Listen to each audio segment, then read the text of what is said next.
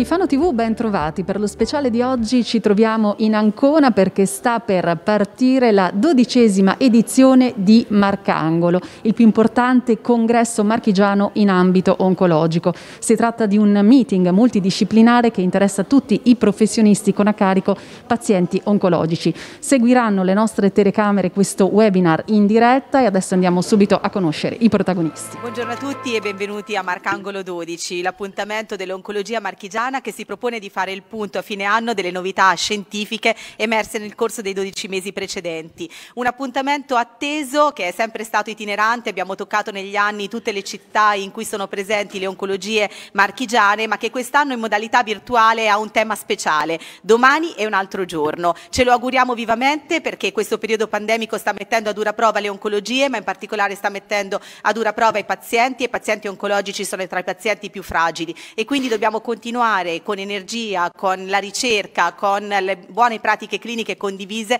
a prenderci cura di loro. Eh, grazie ad un parterre assolutamente di rilievo, abbiamo esperti nazionali e tutti gli esperti regionali che si occupano delle varie patologie, affronteremo nel corso delle varie sessioni dei momenti importanti per fare appunto il punto della situazione su tutto ciò che è emerso nelle varie patologie e nelle varie terapie nel corso di quest'anno in modo specifico. Un anno in cui non ci siamo mai fermati.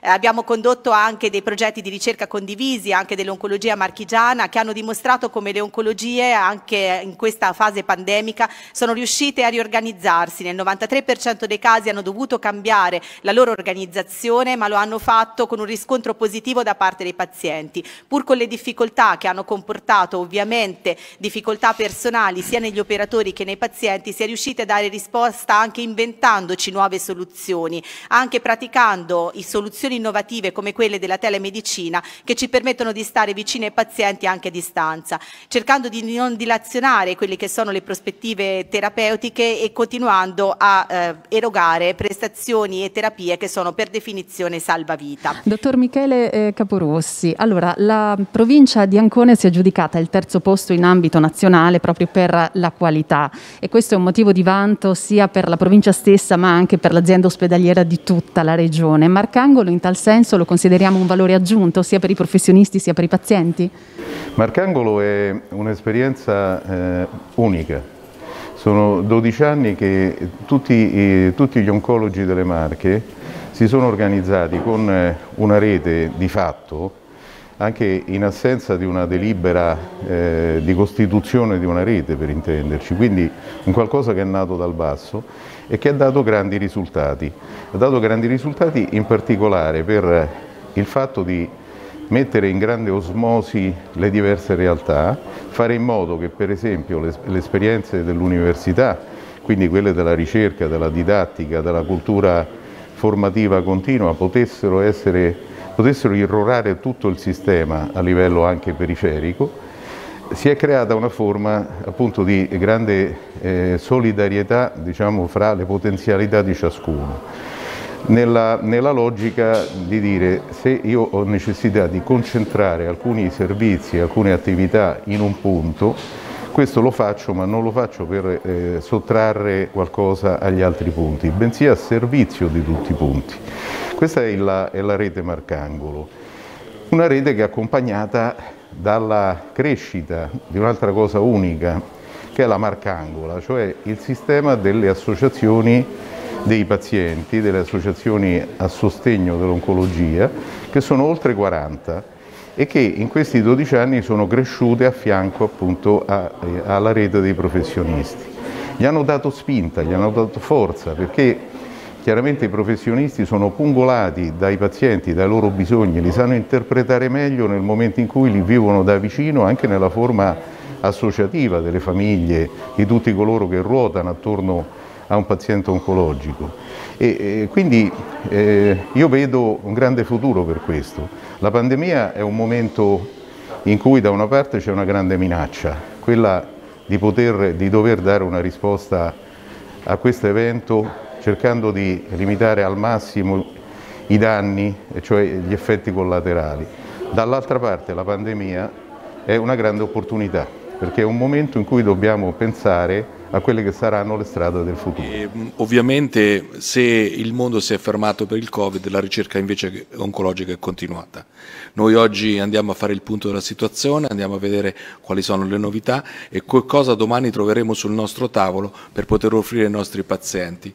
È importante questo evento, è diventato un evento più che un convegno, un evento culturale, in cui facciamo cultura, in cui tutti gli oncologi che si ritrovano nelle Marche hanno le stesse indicazioni e domani porteranno nel loro tavolo, nel tavolo di tutti i giorni del loro lavoro, le informazioni che anche quest'oggi andremo a prendere. Il valore aggiunto di questo evento è che continuiamo a fare cultura, anche in un periodo così difficile come quello del Covid, la ricerca non si è fermata, l'oncologia ha fatto passi avanti e oggi noi facciamo il punto della situazione, quindi domani troveremo sul tavolo di ognuno dei centri di oncologia delle Marche le novità e i nostri pazienti avranno la certezza che sia che sono di, entrano in un centro che si trovano al sud, al nord oppure in montagna non hanno importanza, tutti quanti hanno le stesse in, eh, informazioni, hanno gli stessi farmaci e e potremo quindi curare con tranquillità e sicurezza tutti i malati dell'oncologia marchigiana le nostre linee guida interne, quelle che abbiamo creato tra i vari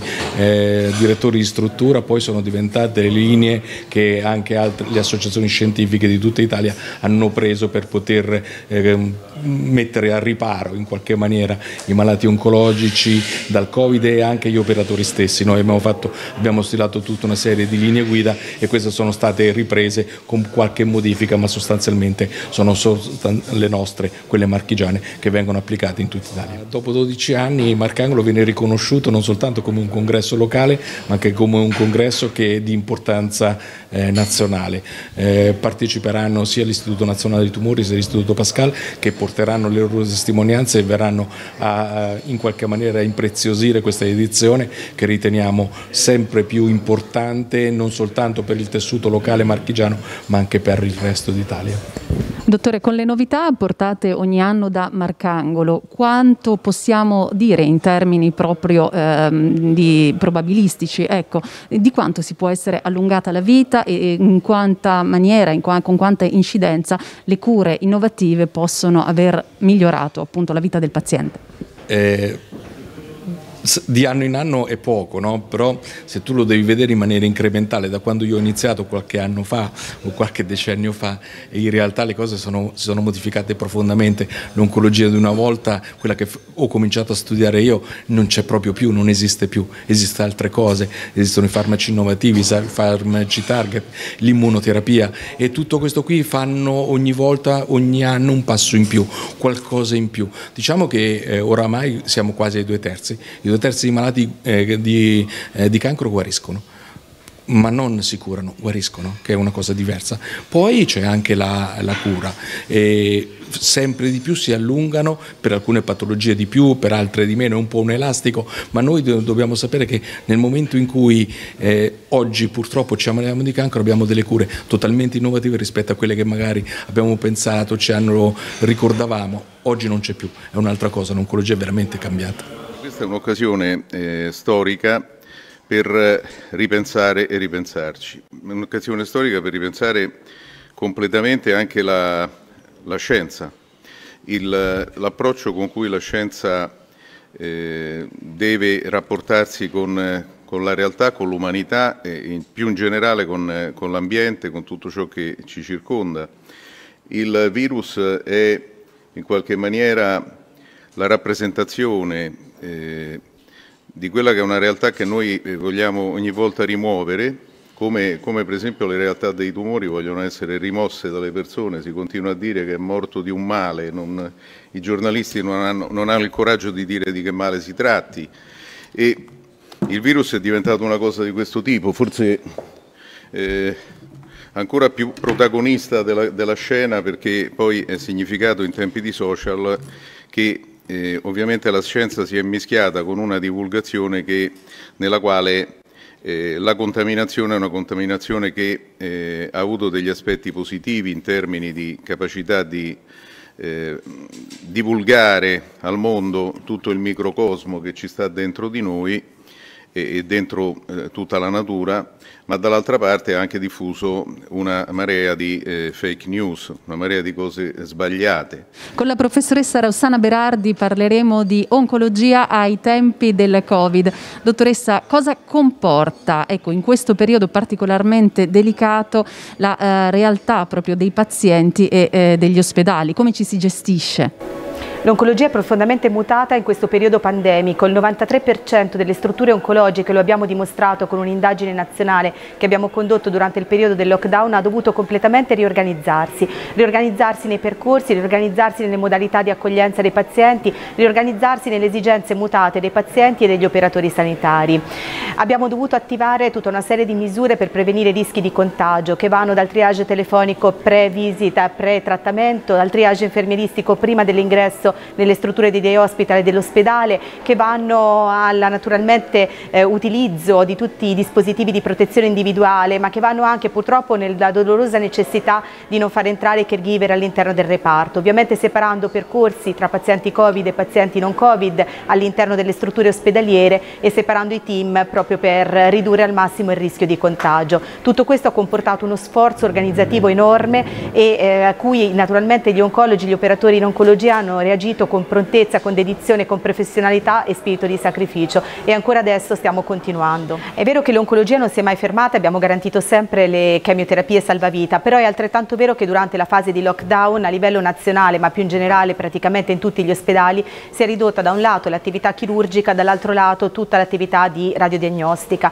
Abbiamo sentito l'Osservatorio Nazionale Screening eh, sottolineare come nei primi cinque mesi del 2020 1 milione e 400 mila esami di screening siano saltati a causa del periodo pandemico. È evidente che questa riduzione dell'attività radiodiagnostica e la riduzione dell'attività chirurgica ha avuto delle ripercussioni inevitabili sui pazienti oncologici. Oggi in questa difficilissima fase 2 della pandemia le attività non si sono fermate, perlomeno a livello regionale, posso parlare magari per la nostra realtà più da vicino, ma certamente dobbiamo fare di tutto affinché non si fermino. Purtroppo ecco, l'epidemiologia della malattia ci comporta di dover eh, in qualche modo rincorrere un po' un'evolutività che cambia e quindi delle situazioni che mutano nel tempo, però credo che a gran voce come oncologa marchigiana, come coordinatrice dell'IOM eh, regionale possiamo assolutamente gridare di non abbassare la guardia sul paziente oncologico. Io credo che la riflessione più grande eh, sia che eh, è necessario ehm, considerare l'importanza dei professionisti,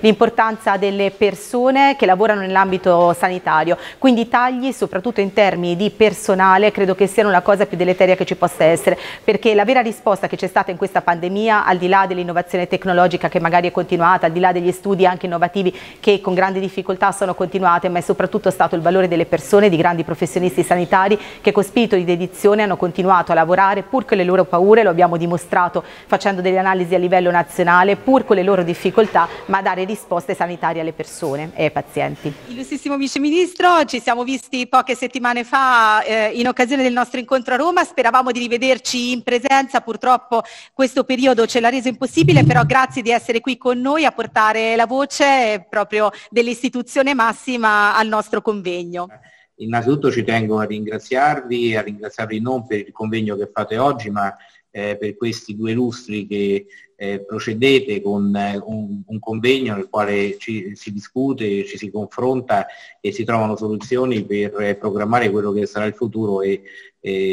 quando ho parlato con la professoressa mi ha illustrato tutte le attività fatte, ma soprattutto eh, l'energia che mette su quelle future, ecco, diciamoci la verità, perché quelle fatte ormai stanno indietro, ma sono insieme di tutte le cose future che, che lei mi ha eh, diciamo, raccontato avere in cantiere. E quindi davvero complimenti a, a, tutti, a tutti voi, perché poi eh, è chiaro che vi è il singolo che eh, diciamo, porta avanti, ma eh, vi è una squadra dietro che, eh, che lavora e in silenzio produce questi risultati. Per quanto riguarda l'oncologia, eh, ci troviamo in un periodo drammatico, è quello del nuovo coronavirus, ma il vero problema eh, crescente è l'accumulo di prestazioni che dobbiamo eh, evadere e, e, e recuperare. Eh, sebbene nel 2019 fossero stimati eh, eh, 370.000 casi eh, di patologia neoplastica, che significa poco più di 1000 al giorno, con circa 500 al giorno che muoiono di cancro, purtroppo ci troveremo, e questo è un fatto, da, a partire dal prossimo anno a dover gestire eh, screening oncologici rinviati e saltati, a dover gestire quindi patologie neoplastiche che verosimilmente verranno riconosciute in uno stadio più avanzato, così come ad oggi dobbiamo gestire eh, anche terapie oncologiche che in alcune regioni sono riuscite ad andare avanti come terapie e anche come follow up eh, senza eh, particolari problemi, ma nella stragrande maggioranza dei casi i pazienti, hanno, i pazienti e le famiglie hanno vissuto dei ritardi e eh, ovviamente dei rinvii eh, importanti. Ci troveremo quindi eh, dinanzi una mole di prestazioni da dover recuperare, alcune recuperabili, recuperate magari grazie alla telemedicina, ma per quanto vuoi la telemedicina è, è, una consulenza, è sicuramente un aiuto valido, ma nel caso dell'oncologia, come ad esempio anche l'oncologia chirurgica o eh, diciamo laddove devi fare della terapia, una diagnostica, una diagnostica strumentale, capite che è necessaria una, eh, un'alternativa che consenta, investendo più risorse, di recuperare questi mesi passati. Eh, un particolare ringraziamento quindi eh, diciamo, agli oncologi, a tutto il personale sanitario che si occupa di, di oncologia, eh, ai pazienti, alle famiglie dei pazienti ovviamente il mio pensiero e alle associazioni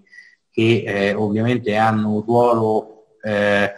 predominante soprattutto in questo periodo che, perché hanno consentito di fare rete, di fare sistema, di raggiungere i nostri pazienti laddove pro- probabilmente il sistema pubblico o le strutture non riuscivano. Eh, e quindi questa eh, minuziosa, eh, organizzata rete territoriale eh, è stata eh, diciamo, supportata dal, dalle associazioni e ad esempio anche dalle società, dalle società scientifiche. E andiamo senza indugio avanti dopo aver sentito queste diciamo, rassicuranti parole del Vice Ministro Sileri con l'ho nominato poco fa il magnifico rettore dell'Università Politecnica delle Marche, anche perché ha dato chiara prova anche l'Università di una grande eh, prontezza di risposta anche in termini non soltanto assistenziali per quanto concerne magari la facoltà di medicina nello specifico, ma più in generale formativi. Abbiamo sentito la formazione è importante soprattutto a livello della formazione dei professionisti. Parliamo di oncologia ai tempi del Covid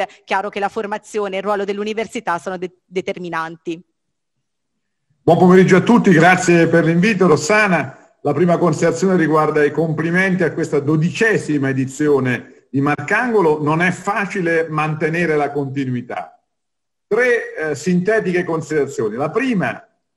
voglio evidenziare questa forte integrazione, l'abbiamo fatto più volte, che è emersa anche dagli ultimi stati generali tra la facoltà di medicina e in generale il sistema sanitario eh, regionale. La seconda considerazione fa riferimento proprio alla giornata di oggi, Sharper, che è la giornata dei ricercatori. Eh, è un progetto comunitario, noi siamo inseriti a tantissime altre università italiane, io questa mattina alle nove e mezzo ho dato via a questa manifestazione virtuale che in realtà ha tantissimi eh, incontri, l'ultimo intorno alle 22 questa sera,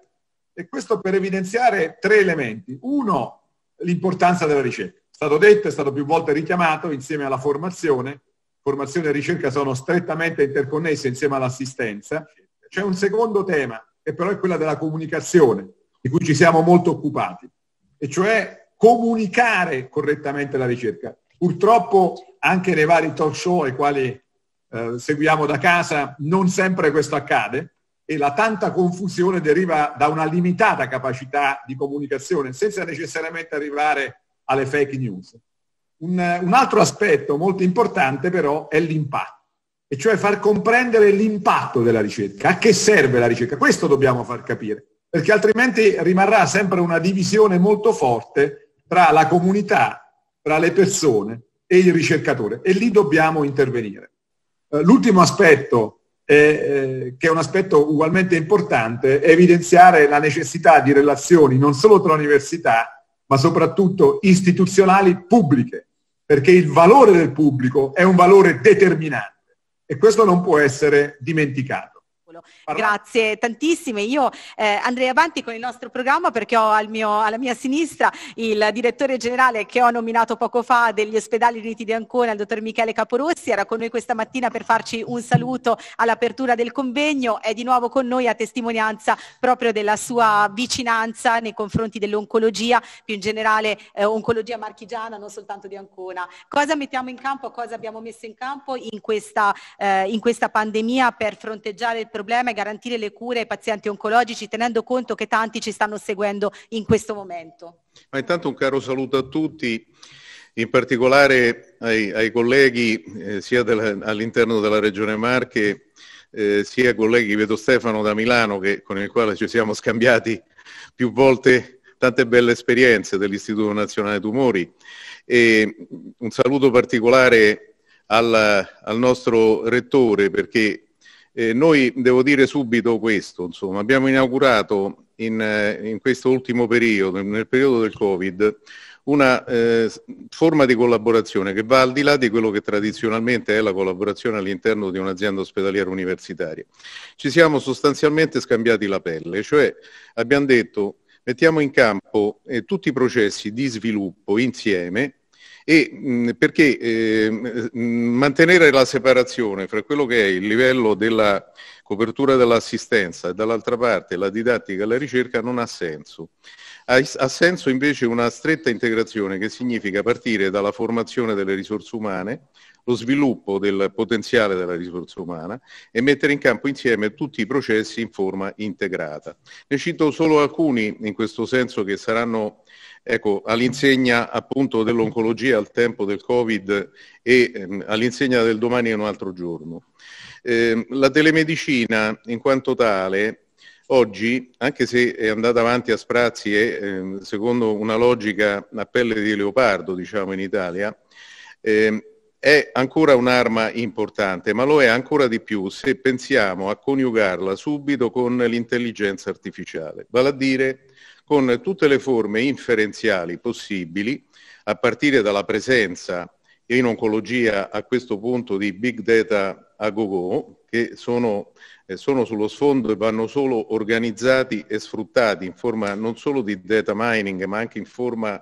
appunto di inferenze per costruire dei sistemi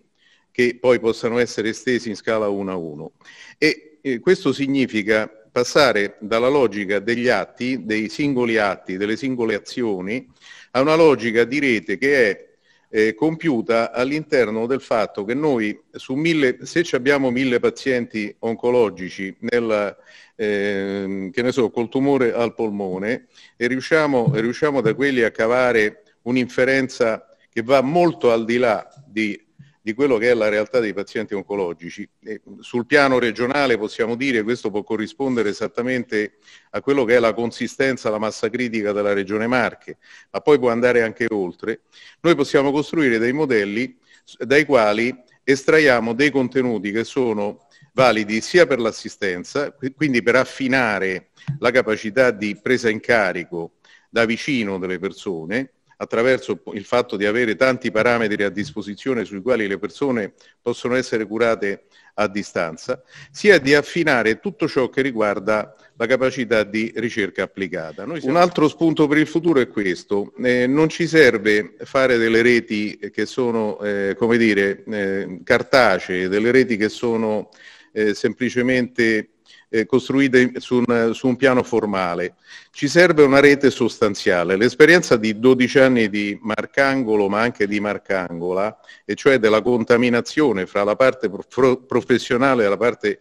sociale che riguarda l'oncologia, è un'esperienza che ci dà tantissime suggestioni per il futuro. La vera rete oncologica è esattamente estratta da questo, cioè dal fatto di mettere a fattor comune tutto quello che si è riusciti a costruire e quindi fare in modo di uscire dalla secca di un'autoreferenzialità professionale o di un'autoreferenzialità semplicemente istituzionale ed entrare all'interno di un ambito che è quello, assieme appunto all'applicazione di modelli come quello che citavo prima, della intelligenza artificiale di assoluta innovazione. E quindi in questa fase, questa è la fase veramente delle idee, è la fase di buttarsi con il cuore dentro l'innovazione e dentro il futuro. Grazie. Grazie a tutti coloro che si sono avvicendati in questa tavola rotonda, ma in questa maratona di una lunga giornata di contenuti scientifici, ma caratterizzata anche dal cuore, dal cuore che i professionisti mettono nelle loro attività, dal cuore delle associazioni che ci supportano e che ci seguono, dei pazienti eh, di cui ci prendiamo cura tutti i giorni. Quindi davvero non posso che dire che eh, siamo soddisfatti da, di quanto abbiamo realizzato oggi tutti insieme, che la nostra rete continua ad allargarsi, si è allargata con le istituzioni, con le istituzioni sanitarie, con i professionisti, con gli opinion leader a livello nazionale, con gli esperti marchigiani. Renato, siamo rimasti insieme per 13 anni, già programmiamo il Marcangolo 14. Buona serata a tutti e ci vediamo l'anno prossimo. Arrivederci. Siamo in addirittura d'arrivo, le nostre telecamere hanno seguito passo passo il webinar di Marcangolo dodicesima edizione. Da parte nostra è tutto, vi auguro un buon proseguimento con i nostri programmi.